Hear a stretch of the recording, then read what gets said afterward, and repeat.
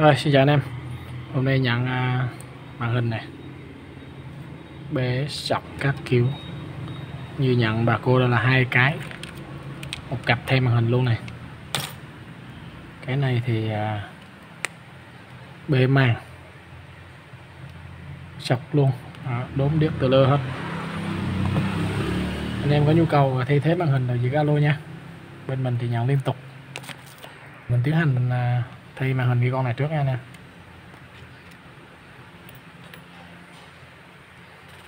Mình thì à, ở ngay ngã tư Phước Cát nha. Cát Tiên Lâm Đồng ha.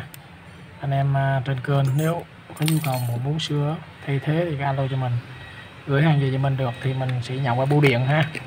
Qua bưu điện bưu điện, mình sẽ thay thế làm cho anh em. Còn anh em tại chỗ thì cứ à, tới nhà mình xử lý luôn nha anh em mình sẽ tạm dừng video để vệ sinh sạch sẽ hết mấy keo này. Sau khi tháo ốc hết thì giờ mình sẽ tiến hành tháo à, vỏ ra.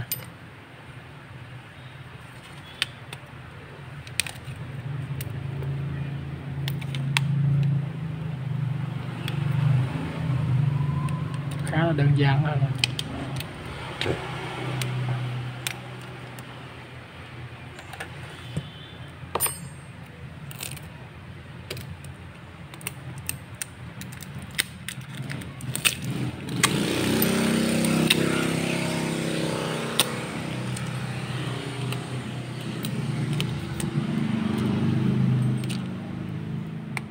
Màn này thì ờ, đã thay lần rồi nè.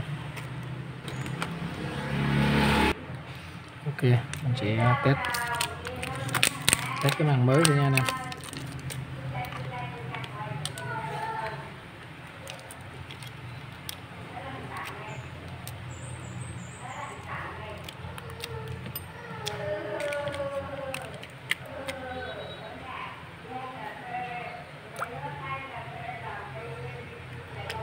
ok lên khá là đẹp.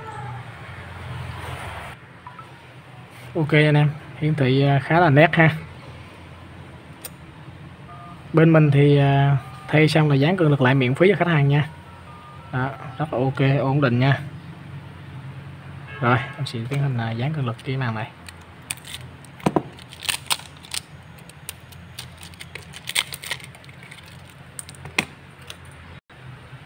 Keo đã dán sẵn nha anh em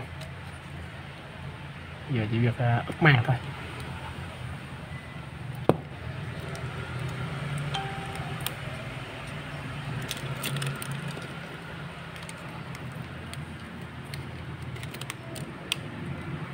Ok.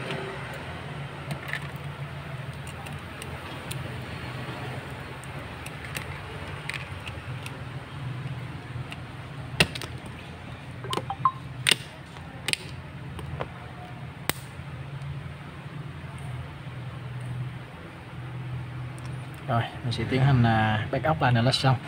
Clip này xin tạm dừng ở đây. Thân ái chào cả nhà. Chúc anh em có một ngày từ thứ à, ba ha. Buổi chiều buổi về nha. Thân ái chào anh em.